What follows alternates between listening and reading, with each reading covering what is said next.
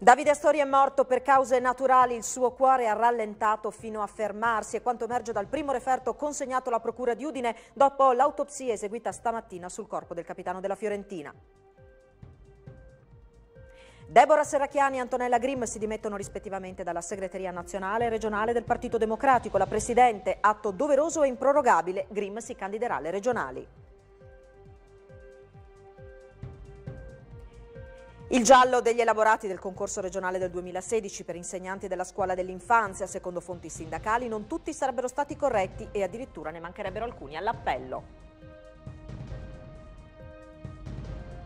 Sono una cinquantina nella nostra regione i contadini custodi, veri e propri guardiani della biodiversità, tutelano le antiche varietà di mais. Da oggi li rappresenta un'associazione che si occuperà della valorizzazione delle farine di qualità.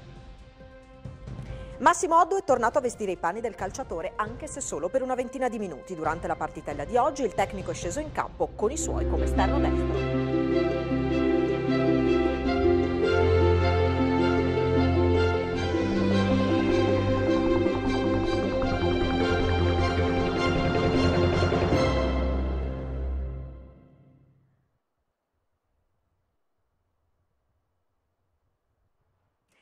Tutti voi buonasera e bentrovati a questa edizione del telegiornale del Friuli Venezia Giulia. Dunque è stata eseguita questa mattina l'autopsia sul corpo di Davide Astori e c'è già un primo riscontro, un primo referto che è stato consegnato alla Procura di Rudine che confermerebbe l'ipotesi delle, delle cause naturali all'origine della morte del capitano della Fiorentina. Di fatto il suo cuore nella notte avrebbe rallentato fino a fermarsi.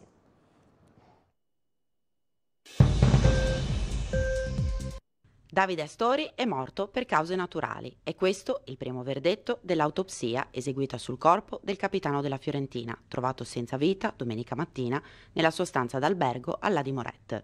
Il primo referto, consegnato alla Procura di Udine dall'anatomopatologo Carlo Moreschi e dall'esperto padovano Gaetano Tiene, ai quali era stato affidato l'esame, parla di una morte cardiaca senza evidenze macroscopiche. Sembra quindi che il cuore di Astori abbia progressivamente smesso di battere fino a fermarsi.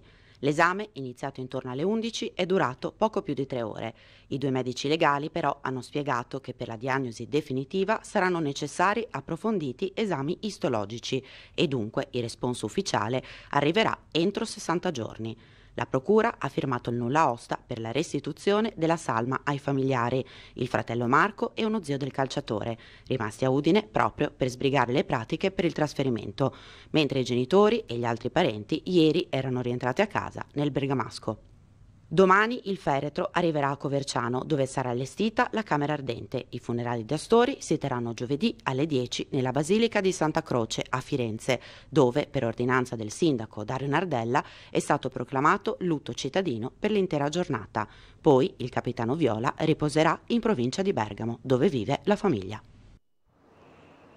Siamo ora alla pagina politica con eh, l'effetto delle elezioni nazionali. Conquista un posto in Parlamento ma si dimette dalla segreteria nazionale del partito. Dopo l'annuncio di Matteo Renzi che ieri pomeriggio a seguito dell'esito delle politiche ha annunciato che si dimetterà da segretario nazionale del Partito Democratico, oggi anche Deborah Serracchiani, presidente del Friuli Venezia Giulia, ha fatto un passo indietro. Alla luce del risultato delle elezioni, per senso di responsabilità nei confronti di tutta la comunità del partito, ho preso la decisione di dimettermi, ha fatto sapere in una nota diffusa in mattina mattinata. Oggi stesso aggiunto farò pervenire al segretario nazionale la lettera formale con cui comunico un atto che reputo doveroso ed improrogabile.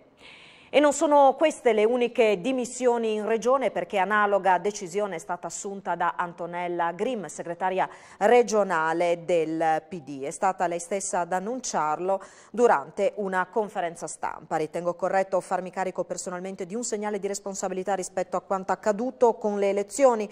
Ha spiegato si tratta di una decisione irrevocabile ed una scelta personale, ma il mio impegno in politica ha assicurato continua e ha durante la conferenza stampa Grimm ha annunciato che presenterà la propria candidatura alle prossime elezioni regionali. La decisione di candidarsi al Consiglio regionale è stata presa anche per poter continuare a rappresentare auspicabilmente il mio territorio, ha detto Grimm e si sono ufficialmente concluse solo nel primo pomeriggio le operazioni di spoglio delle elezioni politiche 2018. Il Friuli Venezia Giulia schiera 20 rappresentanti in Parlamento, 13 alla Camera, 7 al Senato. Il maggior numero di nuovi onorevoli è stato espresso dal centrodestra che ha ottenuto 14 poltrone, mentre Movimento 5 Stelle e PD hanno eh, ottenuto rispettivamente 3 seggi.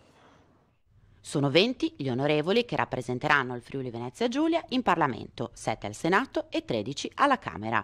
All'uninominale il centrodestra ha sbaragliato la concorrenza in tutti i collegi, conquistando 7 posti su 7, grazie anche alla forza travolgente del Carroccio, primo partito a livello regionale.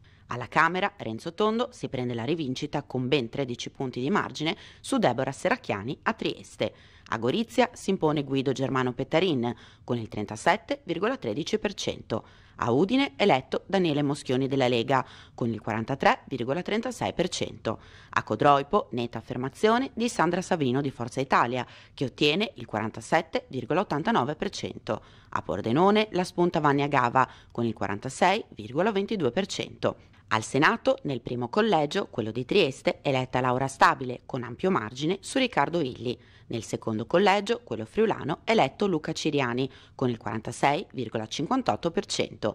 Entra al Senato, ma grazie ai voti del collegio di Milano 1, anche Tommaso Cerno, candidato del PD anche nella nostra regione. 13 invece i seggi calcolati con il sistema proporzionale, nel quale hanno pesato anche i voti non assegnati alle liste che hanno superato l'1% ma sono rimaste sotto la soglia del 3%. Tra i banchi della Camera si siederanno Massimiliano Fedriga e Massimiliano Panizzut per la Lega, Roberto Novelli di Forza Italia, Walter Rizzetto di Fratelli d'Italia, Sabrina De Carlo e Luca Sut per il Movimento 5 Stelle, Ettore Rosato e per un soffio la Presidente Deborah Seracchiani per il PD. Al Senato eletti Mario Pittoni e Raffaella Fiormaria Marin della Lega, Luca Ciriani di Fratelli d'Italia, Franco Dalmas di Forza Italia, Stefano Patuanelli del Movimento 5 Stelle e Tatiana Roic del PD.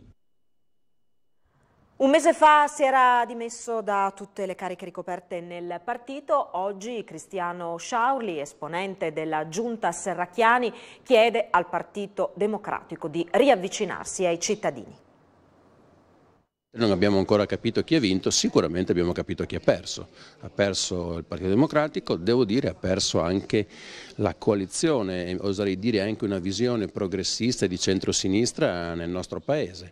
Quindi probabilmente va rideclinato completamente il modo di rapportarsi con i cittadini, le scelte che si mettono in campo soprattutto sulle politiche nazionali e va fatta una, se una, severa e seria autocritica. Beh, io mi sono sos sospeso la segreteria già un mese fa, quindi i, diciamo che i problemi mi erano tra virgolette ben noti, noi abbiamo bisogno di ripartire. Chi ci ha voltato le spalle, ahimè, probabilmente è proprio quella fascia del, della nostra popolazione più in difficoltà, quella che ha subito di più i morsi della crisi crisi, dobbiamo tornare probabilmente anche a confrontarci, anzi non probabilmente, soprattutto a confrontarci con, quella, con, quel ceto sociale che sostanzialmente è quello in cui storicamente il centro-sinistra, le forze progressiste hanno sempre saputo essere più vicine.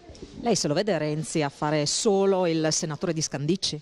No, non me lo vedo assolutamente, sono convinto che non sarà così, eh, ma è anche giusto che sia così, è anche giusto che Renzi continui a proporre e a portare avanti la, la propria posizione, la propria visione anche di un, di un centro-sinistra. Io sono convinto però che eh, i segretari cambiano, i partiti restano e il centro-sinistra resta. Io ovviamente non ho mai sostenuto Renzi e non, ovviamente non comincerò ora, ma sono convinto anche che serva una visione nuova e serva mettere in campo un nuovo centro-sinistra.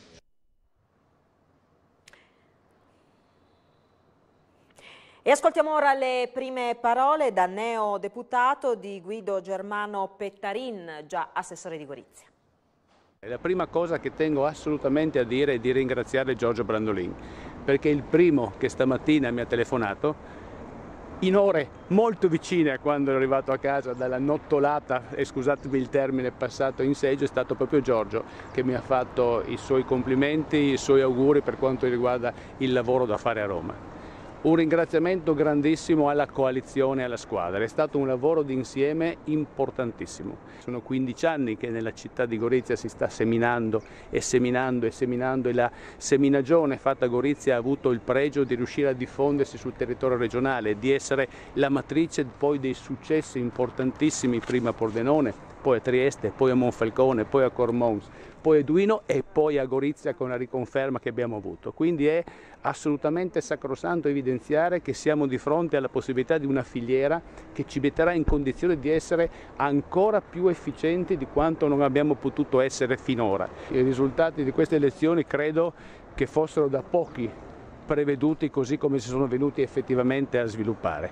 Eh, sappiamo benissimo quali sono i numeri della coalizione di centrodestra e quali sono i numeri del Movimento 5 Stelle che da solo ha avuto un successo veramente inaspettato. Sono confidente che a fronte di questa situazione le persone di buon senso si siederanno attorno a un tavolo trovando il modo di dare da subito un governo coerente e non un governo di inciuccio al nostro Paese per permetterci di risolvere i temi che abbiamo, che sono molti, che sono molto importanti e per cui la gente ci ha dato un mandato estremamente chiaro che è quello che la notte scorsa abbiamo visto svilupparsi nei seggi.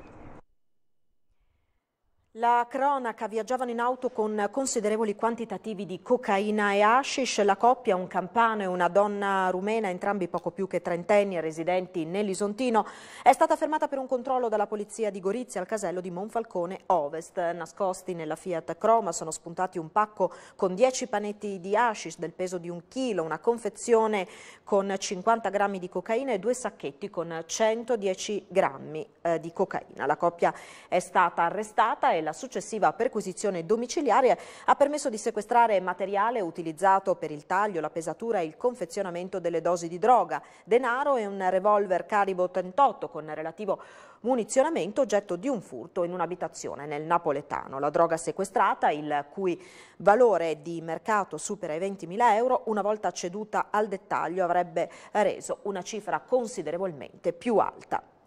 Nel mese di febbraio i carabinieri del nucleo operativo ecologico di Udine hanno intensificato i controlli nelle aziende che operano nel settore della gestione dei rifiuti. Sono stati effettuati otto controlli in tutta la regione e dagli accertamenti non sono emerse situazioni di criticità particolari. Le ispezioni continueranno anche per tutto il mese di marzo.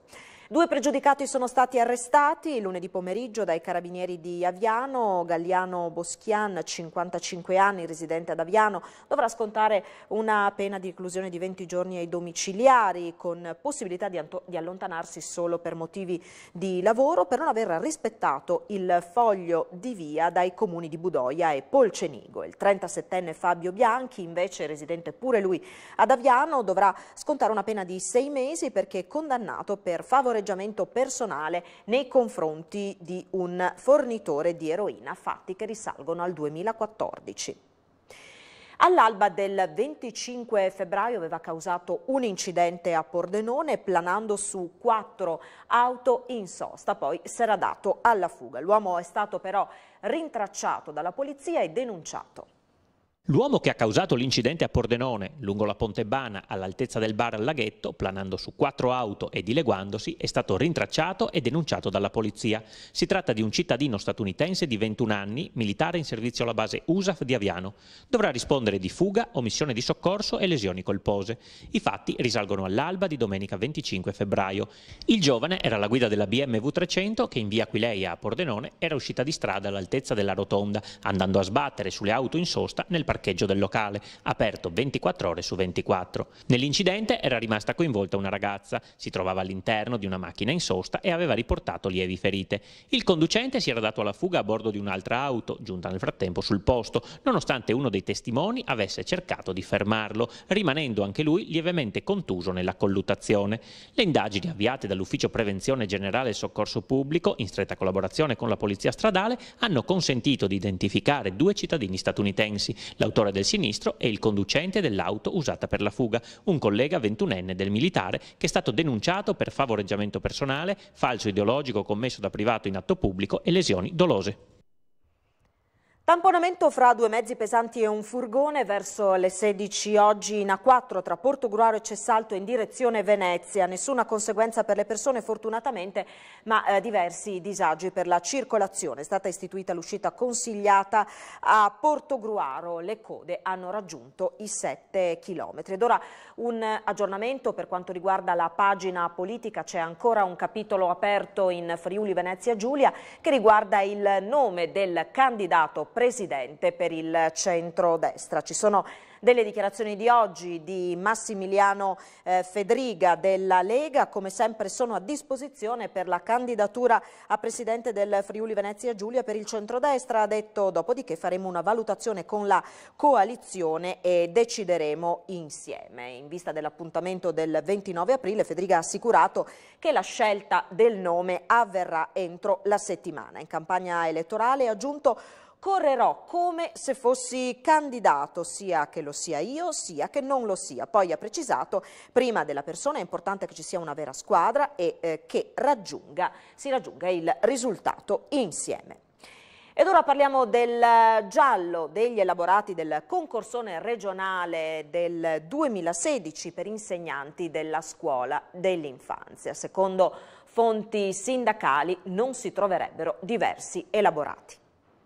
Dove sono finiti degli elaborati del concorso del 2016 destinato agli insegnanti della scuola per l'infanzia del Friuli Venezia Giulia? Se lo chiedono alcuni candidati che attendono notizie sull'esito dell'esame. Qualcuno si è rivolto al sindacato di categoria al quale si sente più vicino per avere chiarimenti sulla questione. Il segretario regionale della CGL Scuola, Adriano Zonta, dichiara di voler fare chiarezza sulla vicenda e al tempo stesso elogia il dirigente scolastico regionale e tutto il suo staff per la grande mole di lavoro che deve affrontare quotidianamente e sulle cause dell'accaduto azzarda un'ipotesi che sia solo una questione di organizzazione legata all'avvicendarsi delle commissioni che dovevano correggere gli elaborati? Sta di fatto che a due anni dal concorso pare che non tutti gli elaborati siano stati corretti. Sensazione o dato di fatto? Dall'altra parte Ugo Previti, segretario della Will Scuola, evidenzia la carenza di personale degli uffici scolastici territoriali. Il sindacato ha stimato che negli uffici scolastici territoriali manca almeno il 50% del personale necessario, afferma il rappresentante Will, e che alcuni dirigenti di tali uffici hanno un contratto che si rinnova di tre mesi in tre mesi. La sua scadenza è prevista per i primi giorni d'aprile, ancora non si sa se sarà rinnovato o meno.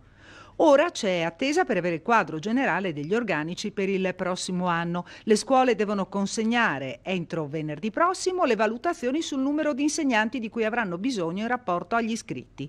Ma al momento non ci sarebbe alcuna circolare nuova sul numero effettivo degli organici stabiliti a livello regionale, a meno che il Ministero non consideri valida quella dello scorso anno.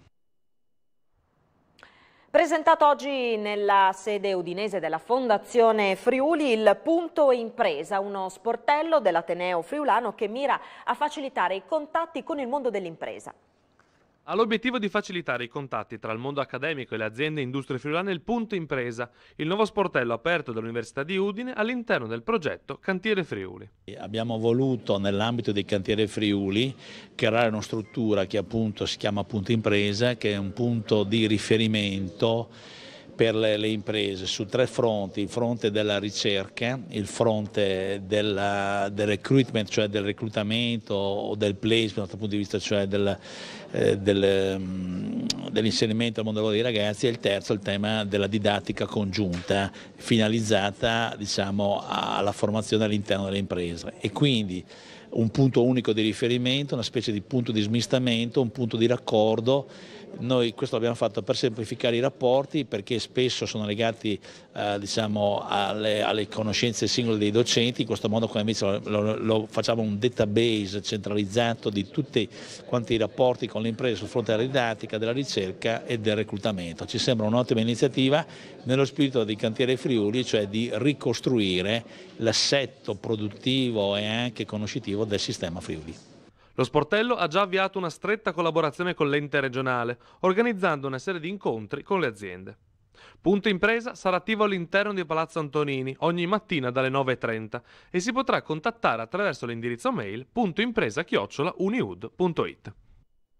Si avvicinano a conclusione i lavori per la ristrutturazione dell'area del vecchio asilo nel parco del quartiere fieristico di Torreano di Martignaco. Qui sorgerà un orto botanico, la provincia di Udine, mandante dei lavori, non vedrà però la fine del cantiere. I lavori stanno rispecchiando quel che è il cronoprogramma eh, con la posa della prima pietra dal 25 settembre al 2 giugno che è prevista la fine. Eh, I lavori qui edilizi che sono mia, alle mie spalle che riguardano il, il, vecchio asilo del cotonificio udinese sono a buon punto, adesso sta arrivando la, la copertura per cui dopo si procederà con la realizzazione degli impianti e le rifiniture eh, esterne. stanno iniziando anche lavori di riqualificazione del parco monumentale di 64.000 metri quadri quadri che eh, racchiudono un patrimonio botanico straordinario con 250 piante censite di grande pregio botanico, così come anche la, la serra con la pensilina sul canale Ledra, la nuova serra dell'orto botanico friulano, 470 metri quadri, più l'edificio eh, attiguo che per la, serve per la ricerca scientifica, che sono 70 metri quadri su tre piani. Anche quelli adesso hanno inizio insomma, a, a, brevissimo la, la, la loro posa, quindi insomma, tutto sommato, al di là di qualche breve ritardo, ritardo se vogliamo più dovuto al maltempo e alle condizioni comunque lavorando in natura sostanzialmente evidentemente certe condizioni vanno rispettate però sostanzialmente il, le previsioni si stanno quasi insomma, rispettando. E sarà come dire eh, il, il, patrimonio di congedo che la provincia di Udine lascerà al proprio territorio un'opera importante ricordo il costo di 2 milioni di euro che permetteranno appunto sia per quanto riguarda l'attività dell'ERSA ma anche la facoltà dell'Università eh, di Udine, degli studi di Udine Udine di poter avere una struttura e un luogo idoneo per proseguire in un'importante ricerca scientifica, soprattutto per i nostri eh, studenti. Sono una cinquantina nella nostra regione i contadini custodi delle antiche varietà di mais, veri e propri guardiani della biodiversità. Una decina di produttori si è riunita in associazione. Sono una cinquantina in Friuli Venezia Giulia i contadini custodi della biodiversità del mais. Coltivano varietà antiche, contraddistinte e spiegano da valori nutritivi molto più alti rispetto agli ibridi, con maggiore adattabilità al territorio e in grado di produrre farine di più elevata qualità. Ora hanno un nuovo punto di riferimento, l'Associazione Produttori Antichi Mais Friulani, presentata a Udine. Le aziende aderenti al momento sono una decina, molte di più quelle che hanno manifestato l'interesse ad unirsi al gruppo compresi i mulini, in particolare quelli che macinano a pietra. L'obiettivo è quello di valorizzare queste varietà di mais a libera impollinazione. Due anni fa eh, è stata varata una legge a livello nazionale sulla biodiversità che prevede, oltre alla tutela della biodiversità, la tutela delle vecchie sementi e la, la nascita un, dei contadini custodi e di un albo nazionale. Noi tutelando questi antichi mais sono quelli che sono sopravvissuti diciamo, agli ibridi, che a un certo momento sono stati abbandonati da tanti, ma altri li hanno salvati. E noi con questi antichi mai salvati pensiamo che si possano fare dei cibi di, cibi di qualità, ma anche polenta di qualità che si accompagni a dei cibi che altrimenti ne risentirebbero. Esatto. Vogliamo fare qualche nome di queste varietà? L'ottofile biancoperla friulano, il marano d'Aquileia, il marano di Buia che già è molto valorizzato con il pan di Sorc, il rosso d'Aquileia, il pignoletto della Valcosa, la socchievina della Carnia, il dente di cavallo bianco, il dente di cavallo rosso. L'associazione Antichi Mais Friulani rappresenta una possibilità in più, rappresenta la valorizzazione di quei prodotti che non possono essere copiati altrove, che sono certo legati alla nostra storia, alla nostra identità, ma che possono essere davvero dei prodotti che incontrano il gusto del pubblico, eh, che, devono, che devono e possono essere ulteriormente valorizzati nei nostri esercizi commerciali, nei nostri ristoranti, perché sono la storia, la tradizione del Friuli e sono quelle cose uniche che nessuno può copiarci. Ed ora la vignetta preparata per noi da Fernando Venturini.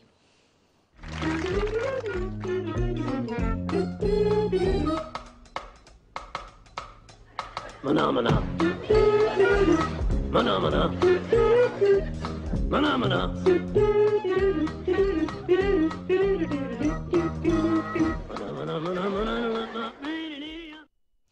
Massimo Oddo è tornato a vestire i panni del calciatore, seppur per poco più di 20 minuti. Durante la partitella a metà campo di oggi, il tecnico ha indossato una pettorina arancione e si è posizionato come esterno destro nella difesa a tre, composta anche da Angella centrale e Samira a sinistra. Alla scena hanno assistito una decina di tifosi presenti nonostante il cielo grigio, la leggera pioggerella ed una temperatura non proprio invitante. L'Udinese ha sostenuto una seduta atletica alla quale hanno preso parte tutti, tranne gli infortunati Danilo e Lasagna. Durante la partitella finale in attacco sono stati schierati De Paul e Perizza da una parte, Ianto e Maxi Lopez dall'altra. Ed ora ci occupiamo degli appuntamenti internazionali per l'atletica regionale nel weekend appena trascorso. Otto titoli sono stati assegnati a Udine nei campionati regionali ragazzi e ragazze.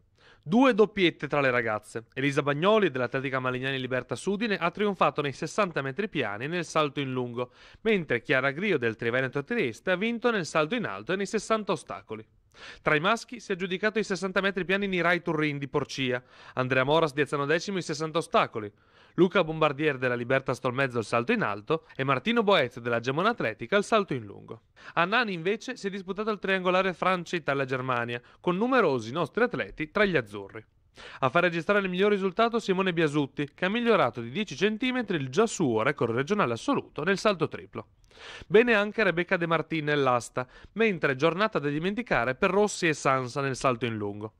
Sul campo all'aperto, grande risultato per Alessio Di Blasio, che ha raggiunto la distanza di 65,39 m nel giavellotto. Isabella Martinis, al contrario, incappa in una giornata no al martello. Ad Ancona sono dati battaglie i cadetti nell'ottavo trofeo ai confini delle Marche, con 11 rappresentative regionali. I ragazzi friulani sono arrivati quarti, mentre le ragazze addirittura terze, per una classifica complessiva che vede la nostra regione alle spalle solamente di Veneto, Lazio e Toscana.